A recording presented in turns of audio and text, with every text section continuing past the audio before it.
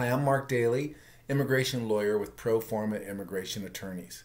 This video is about getting U.S. permanent residency for your spouse, especially if you're a U.S. citizen. This is a step-by-step guide for filing all your documents and forms with the USCIS. And this one's video six is assembly and filing with the USCIS because procedures are very important in immigration and they can cause huge delays in your case if you don't set things up right. They can get turned back, you bouncing back and forth. It can become a nightmare very quickly. So I'm going to give you my best tips as an immigration lawyer to how to prepare these right. So this is step-by-step immigration forms we're working through right now, which is basically where my clients fill out their own forms and they bring things to me and then I go ahead, look them over, spend two hours with them and get everything ready to submit with USCIS. It's a low cost, low cost alternative to working with attorneys.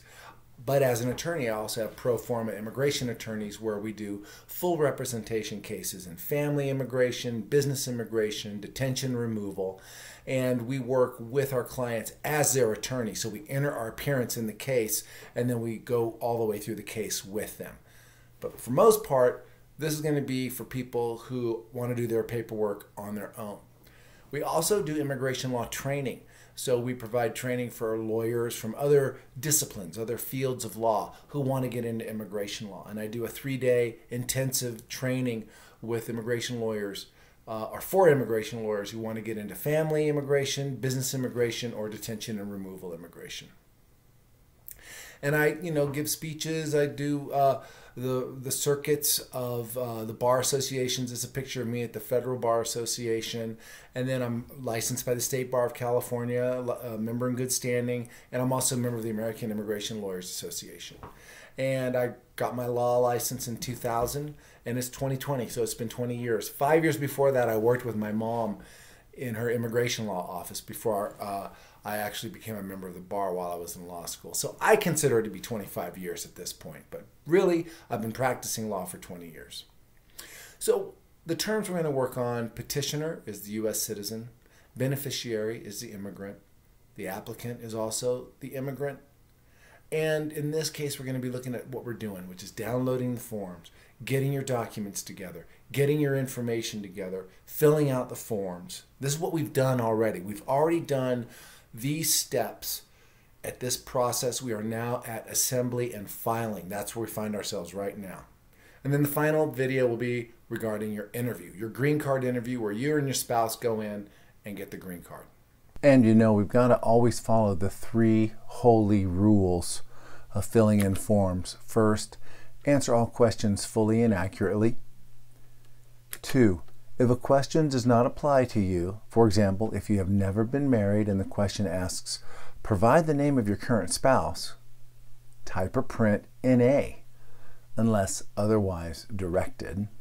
And the third rule, if your answer to a question which requires a numeric response is zero or none, for example, how many children do you have, or how many times have you departed the United States, type or print none unless otherwise directed. What they don't tell you is they mean this for basically every box that's on the form.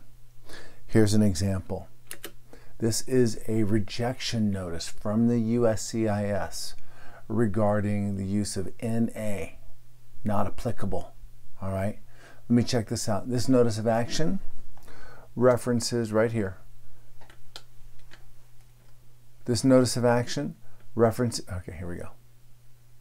This notice of action references your Form 918, Petition for U Non-Immigrant Status, which you submitted on 2-2020. U.S. Citizenship and Immigration Service is unable to accept the application for the reason indicated below. You must complete every block and question as described in the instructions to Form 918 and 918 Supplement A. Block and question. If the question does not apply to you or you do not know the information requested, you must place NA, meaning not applicable or available, none or unknown in the box. B. You must complete the following sections, parts, areas, or questions below. Part 4. If the fields in Part 4 do not apply to you, you must answer NA to questions 1A, 6A, 11A, 12A, and or 21A. What do they mean? Here is the 918, and this is the addition date. This is the question that was asked. Here's what we provided. Family name of spouse, given name of spouse, middle name, date of birth, country of birth, relationship, current location, and then the child, family name, given name, middle name, date of birth, country of birth, relationship, current location. Then in 11a, we put not applicable and nowhere else. So up here, no, not applicable here in FAM 16a, 21a, no, not applicable. And we pick it up and we do it right. Why is that problem? We'll check it out. If the fields in part 4 do not apply to you, you must answer NA to questions 1A, 6A, 11A, 16A, and or 21A. So in those boxes, we needed to write NA and we didn't. Part 4, if a name is entered for any question in Part 4, 1A, 6A, 11A, 16A, and or 21A, then the remaining questions pertaining to that family member must be filled out. Well, when we will go back to this form, 11a, not applicable. And they're saying the rest of this must be filled out because there's a something that appears there.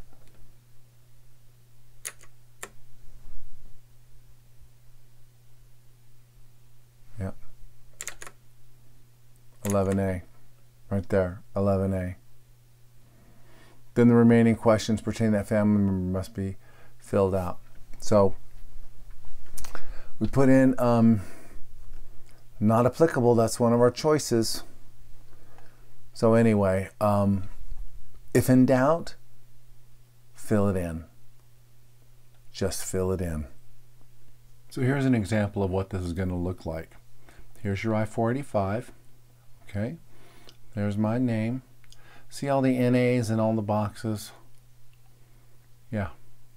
Other names I've used, NA. Okay. Information about you, if I got an online account here, none. Care of, okay, there's none, but you're not going to put none in here, right? Because this is all filled in. Alternative, there we go. All the way down.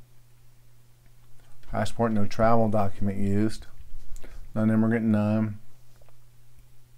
Now here, it doesn't allow you, I mean, you go in here, but you can't put anything in the boxes except for here.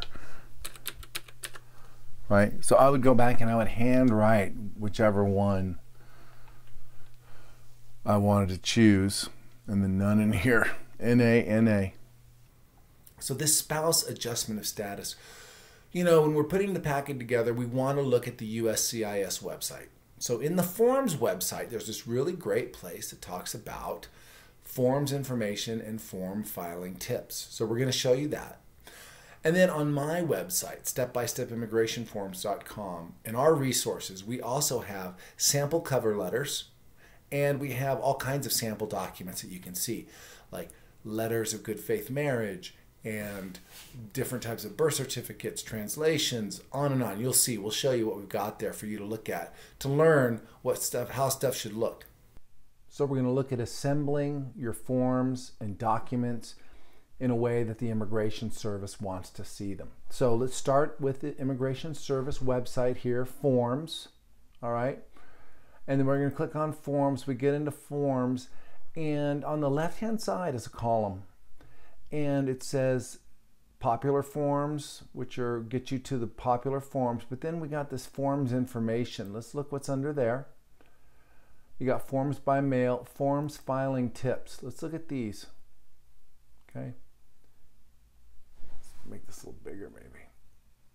Please read and follow the form filing instructions, form fees, eligibility requirements, fee waiver eligibility, required documents and mailing addresses vary depending on the form you're filing and why you are filing. These tips will, these tips will help ensure we accept your application, petition, or request package for processing Uh, complete your form accurately. Don't forget to sign your form. We will reject and return any unsigned forms. And then use the most current version Okay? Complete the entire form. If you handwrite your answers, use black ink. Make sure entries are neat, legible. Don't use highlighters or correction fluid or tape. If you make an error, start over with a clean form. If filing multiple forms, write your name, date of birth, a number exactly the same way on each form. Pay the correct fee. Send single-sided copies of the application. Assemble your application. We recommend assembling your package in the following order. Check or money order. Write the form you are filing and your A number or other applicable identification on the check or money order. So with the check or money order, what we like to do is we like to staple it to the form. So you'll see when I show you the completed package, we'll staple the money order directly on the first page of the I-485 or the I-130, whichever the top form is, we pay for the whole thing with one check and we staple it. And then the next one after that is I-1145 and then the G28 and then the form being filed, right? So you're not gonna have a form G28 because you're not hiring an attorney to do that. So without the G28, it says the first one here, the 1145, is going to be the top one. And then uh, form being filed, your check and money order is going to be stapled to the form, and then the supporting documentation after the form. Submit the documents or evidence listed in the form instructions. Have an English translation. Submit copies unless we request original documents. The only original documents are going to be the forms themselves if you're sending in a medical exam, send in the medical exam. The check is going to be an original document, and then your passport photos are going to be the originals. Everything else is a copy. If you have any attachment, make sure each attached page has your name and A number. Okay, we got that. Send single-sided copies. We got that. Mark the envelope and the cover letter with the nature of the submission. Okay, the cover letter is what we're going to cover right after this. And I like to put the cover letter on the very top myself. Mark the envelope with the cover letter and the cover letter with the form number, whichever form it is. In preparing your packet, remember, do not use binders or folders that we cannot easily disassemble. No binders. You use binders at the embassy. When you're walking in a petition to the embassy, bring a binder. You don't mail in a binder. No folders either. You're going to have just 8.5 by 11 sheets of paper. All right, a couple things stapled to them. The medical exam is going to be taped onto one 8.5 by 11 piece of paper, you know, but the whole thing is going to be just one block. Right? Use fasteners to hold together thicker, bulky applications or petition. Two-hole punching at the top of the material for easy placement in the file is appreciated. Yeah, let me show you what that looks like. So here's what we're talking about. Paper fastener set, a two inch base and a two and three fourths inch prong. Box of 50, okay?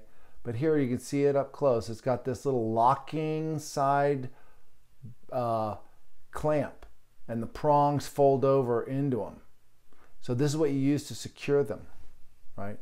And then um, you're gonna use the two hole punch in the top and then you're going to use one of these two hole punches in the top.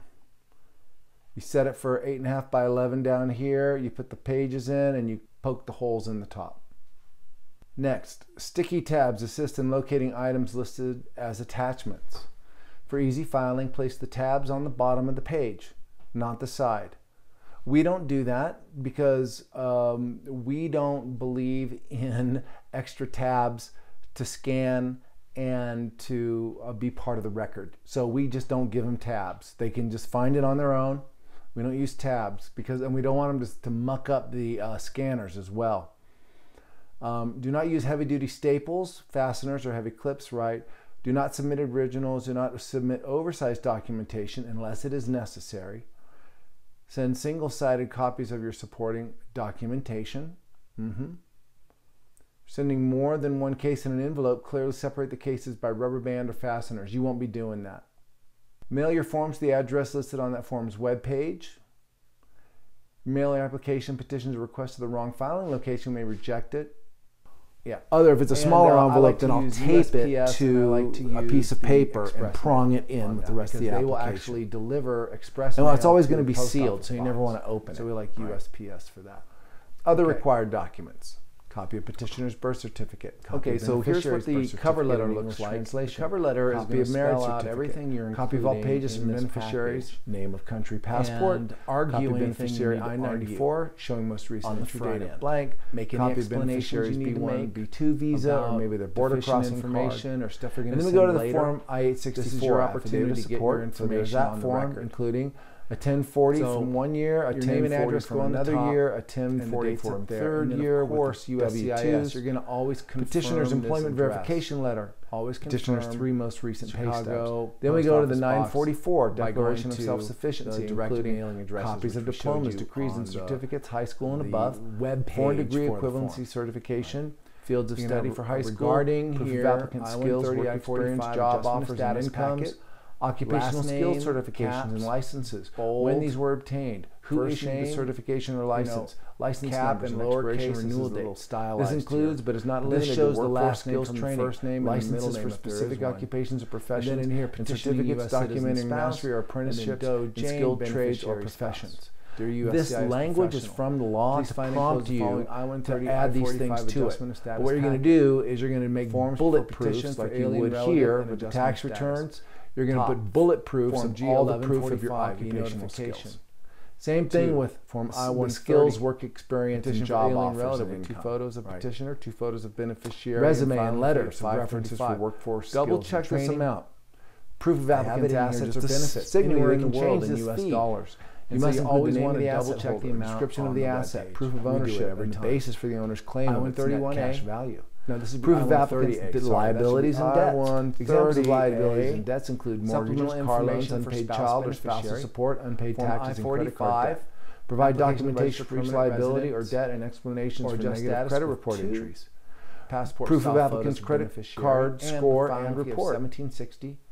Now this would be 535 USCIS the review your US credit I- report and credit score. 1140 This for be I-45 not credit card and score. I think 85 for the credit biometrics. score. Double check this amount.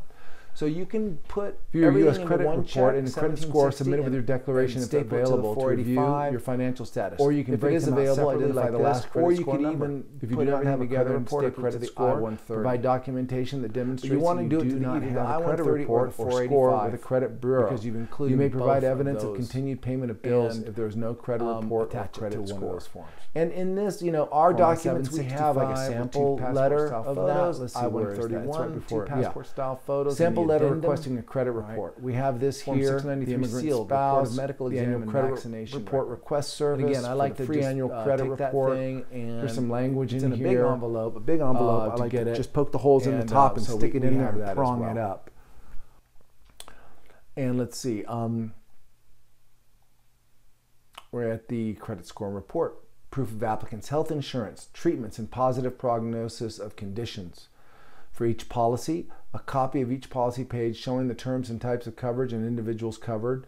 Or two, letter on the company letterhead or other evidence from your health insurance company stating you're currently enrolled in health insurance and providing the terms and types of coverage. Or three, the latest Form 1095B health coverage or Form 1095C, employer provided health insurance offer and coverage if available, with evidence of renewal of coverage for the current year. Proof of applicant's public benefits, including applications, receipts, or certification of public benefits or notice of withdrawals. Proof of English language proficiency or other languages proficiency. Certifications or courses in English and other languages in addition to English. Now we move on to the proof of the good faith marriage. We have letters from the petitioner, the beneficiary, friends, and family regarding the good faith marriage. Copy of lease agreement for apartment showing both names and signatures. Medical insurance cards and medical insurance statement. Copy of auto joint insurance policy.